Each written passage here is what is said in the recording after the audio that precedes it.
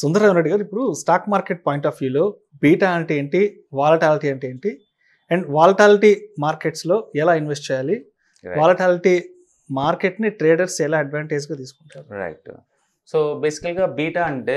Compare to broad market అంటే overall మార్కెట్తో పోల్చుకుంటే మీ స్టాక్ మార్కెట్ ఎంత వాలటిలిటీ అవుతుంది అనే దాన్ని బీటా కాన్సెప్ట్ అంటారు. అంటే మనం బ్రాడ్ మార్కెట్తో కంపేర్ చేస్తుంటాం. మనం మన పర్ఫార్మెన్స్ మన స్టాక్ పర్ఫార్మెన్స్ని ఓవరాల్ మార్కెట్తో కంపేర్ చేస్తుంటాం. ఫర్ ఎగ్జాంపుల్ నిఫ్టీని మనం వన్గా తీసుకున్నాం అనుకోండి బేస్గా మీ స్టాక్ మీ స్టాక్ వన్ పర్సెంట్ మూవ్ అవుతుంది నిఫ్టీతో పాటు ప్యారల్గా నార్మల్ బీటా అంటారు దాన్ని. అంటే నిఫ్టీ వన్ పర్సెంట్ డ్రాప్ అవుతే మీ స్టాక్ వన్ పర్సెంట్ డ్రాప్ అవుద్ది నిఫ్టీ వన్ పర్సెంట్ పెరిగితే మీ స్టాక్ కూడా వన్ పర్సెంట్ పెరుగుతుంది. దాన్ని నార్మల్ అంటారు. No no beta normal high beta అంటే నిఫ్టీతో కంపేర్ చేసుకున్నప్పుడు నిఫ్టీ కల్లి టూ పర్సెంట్ అలా మూవ్ అవుతుంది ఎక్స్ట్రా. దాన్ని హై బీటా అంటారు. అంటే నిఫ్టీ వన్ పర్సెంట్ అప్ అయింది అనుకోండి మీది టూ పర్సెంట్ అప్ అవుతుంది. Okay. లేదా అంతకంటే ఎక్కువ అవచ్చు వన్ పర్సెంట్ నిఫ్టీ డ్రాప్ అయింది అనుకోండి మీది ఇంకా ఎక్కువ డ్రాప్ అవుతుంది. దాన్ని హై బీటా అంటారు. ఎవరైనా ట్రేడ్ చేశారంటే వాళ్ళ ఆబ్జెక్ట్ ఏముంటుంది? ఎక్కువ మనీ సంపాదించడం ఎక్కువ మనీ ఎలా సంపాదించాలంటే మార్కెట్తో పోల్చుకుంటే ఎక్కువ పెరిగే స్టాక్స్ నువ్వు ట్రేడ్ చేయాలి. అంటే మీకు హై బీటా స్టాక్స్ కావాలి. సో హై బీటా స్టాక్స్ అంటే ఓవరాల్ మార్కెట్ రిస్క్తో పోల్చుకుంటే మనకి ఎక్కువ రిస్క్ ఉన్న స్టాక్స్ అని అర్థం. రిస్క్ రివార్డ్ రెండు. ఎక్కువ స్టాక్స్ని బీటా అంటారు. సో మీరు ఇంటర్డే ట్రేడింగ్ చేస్తున్నారా? ఒకసారి మీ స్టాక్ యొక్క బీటా చెక్ చేసుకోండి. అది మార్కెట్తో పోల్చుకుంటే ప్యారల్గా మోతుందా తక్కువ మోతుందా ఎక్కువ మోతుందని బేసికల్ ఇప్పుడు ఎఫ్ఎంజీసీ ఉన్న సెక్టర్ ఉంది అనుకోండి లో బీటా స్టాక్స్ ఎఫ్ఎంసీజీ ఎఫ్ఎంజీసీ మొత్తం కూడా. అండ్ మెటల్స్ అనుకోండి న్యాచురల్ హై బీటా స్టాక్స్ అంటే మీరు మెటల్స్ ఇంటర్నెట్ ట్రేడ్ చేస్తున్నారు అనుకోండి త్రీ ఫోర్ పర్సెంట్ ఈజీగా మూవ్ అవుతాయి అది అప్ కావచ్చు డౌన్ కావచ్చు. కంపేర్ టు మార్కెట్ మూవ్ పోల్చుకుంటే. అదే లో బీటా స్టాక్స్ అంత మూవ్ అంత రియాక్ట్ అవ్వవు. So low beta stocks investment చాలా చాలా మంచిదండి. లో బీటా స్టాక్స్ వరకు అయితే చాలా బెస్ట్ ఎందుకంటే మార్కెట్ టెన్ పర్సెంట్ పడేంత వరకే నువ్వు రిస్క్ మేనేజ్ చేయగలుగుతావు. అంతకు మించి పడుతుంది అనుకోండి రిస్క్ మేనేజ్ చేయగలం ఎందుకంటే ఒక హండ్రెడ్ రూపీస్ స్టాక్ ఫిఫ్టీకి వచ్చింది అనుకోండి మీ లాస్ అయిన ఫిఫ్టీ పర్సెంట్. కానీ ఫిఫ్టీ రూపీస్ స్టాక్ హండ్రెడ్కి వెళ్ళాలంటే హండ్రెడ్ పర్సెంట్ పెరగాలి. ఈజీగా టూ త్రీ ఇయర్స్ పడుతుంది రికవర్ అవ్వాలంటే. అంటే డ్రాప్ అవటం వన్ వీకే రికవరీ మాత్రం ఇయర్స్ పడుతుంది. అందుకని దాన్ని బ్యాలెన్స్ చాలా కష్టం. ఉమ్. అదే మీరు లో బీటా స్టాక్ అనుకోండి. మార్కెట్ పడుతున్నప్పుడు మీది పడుతుంది. బట్ మార్కెట్ అంత పడుతుంది మీది.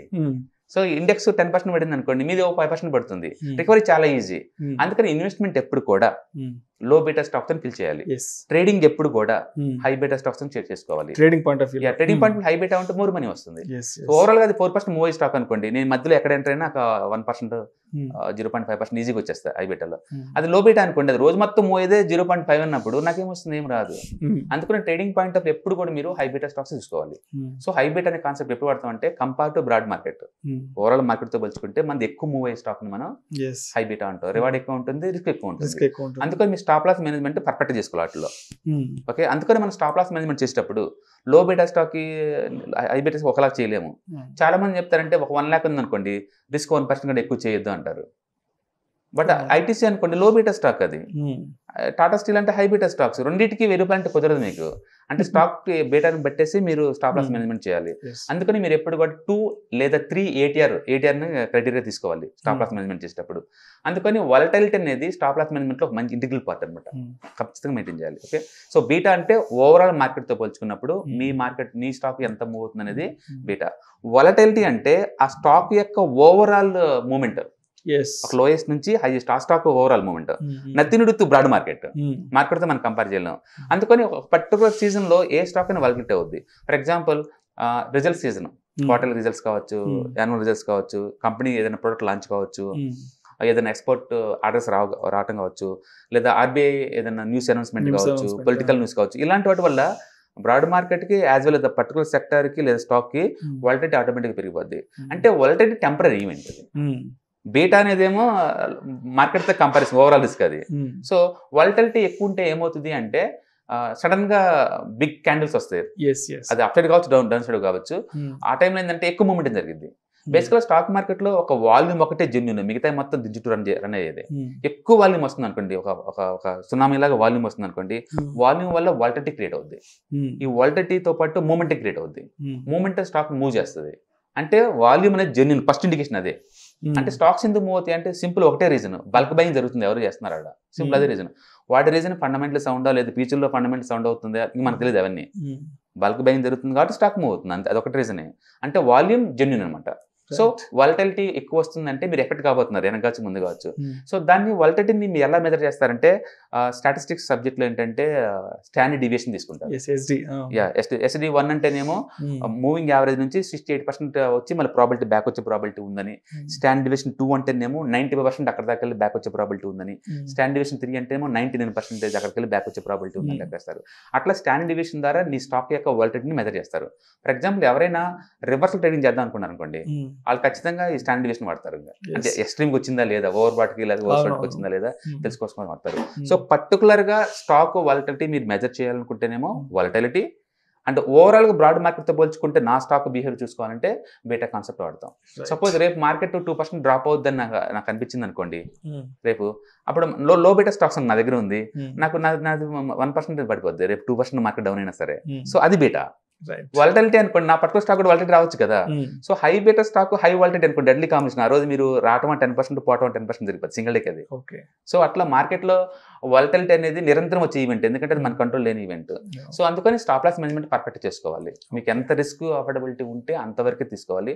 బేసికల్గా ఇన్వెస్ట్మెంట్ ఏంటంటే లాంగ్ టర్మ్ పాయింట్ ఆఫ్ కాబట్టి పట్టించుకోరు. బట్ ట్రేడింగ్ పాయింట్ ఆఫ్లో you have to give the too much importance this beta and volatility చాలా ఇవ్వాలి. ఓకే? సో స్టాక్ యొక్క ఓవరాల్ మూమెంట్ని మనం వాలటిలిటీ అనుకోవచ్చు లోయెస్ట్ హైయెస్ట్ అండ్ బీటా అంటే మాత్రం ఓవరాల్ మార్కెట్తో కంపేర్ చేసినప్పుడు మన స్టాక్ ఎలా బిహేవ్ చేస్తుంది అనేది బీటా. కాన్సెప్ట్ సో మీరు ట్రేడింగ్ పాయింట్ ఆఫ్ ఉంటే మాత్రం ఖచ్చితంగా అది ఇంటర్డే ట్రేడింగ్ వాళ్ళు అయితే మాత్రం ఖచ్చితంగా స్టాప్ లాస్ మేనేజ్మెంట్ చేసుకోవాలి. అది టూ కానీ లేదా త్రీ ఏటీఆర్ని స్టాప్ లాస్కు తీసుకోండి. ఈవెన్ టార్గెట్ కూడా అంతే. Two. Three four eight years ఇలా టార్గెట్ పెట్టుకోవచ్చు. Hmm. స్టాప్ లాస్ మేనేజ్మెంట్ చేయకుండా అసలు ఇంటర్డేకి రావద్దు. ఎందుకంటే అది ఇంటర్డే ట్రేడింగ్ అంటేనే నథింగ్ బట్ ఎక్కడ లాస్ కట్ చేసుకోవాలని తెలిసి. ఎక్స్పర్టైజ్ అవడం అనమాట ఎంత మనీ వచ్చిందని కాదు.